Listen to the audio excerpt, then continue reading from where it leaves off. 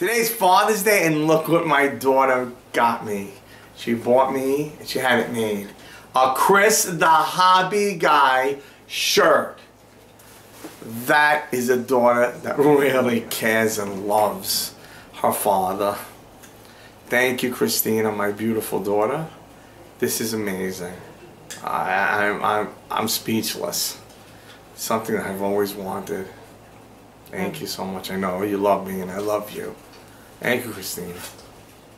Chris, the hobby guy. Chris the hobby guy. He went on Father's Day to get her dad the shirt that he once just said that he wanted a Chris the hobby guy shirt. She must have a remembered. long time ago I wanted She this. must have remembered. That's amazing. What a thoughtful and Woo! beautiful gift. Go, Christina.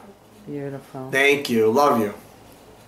Happy Father's Day. Thank you. Aw, she said, love you, Dad, in the back. Say it again. Love you, Dad. Aw. Thank you, Christina.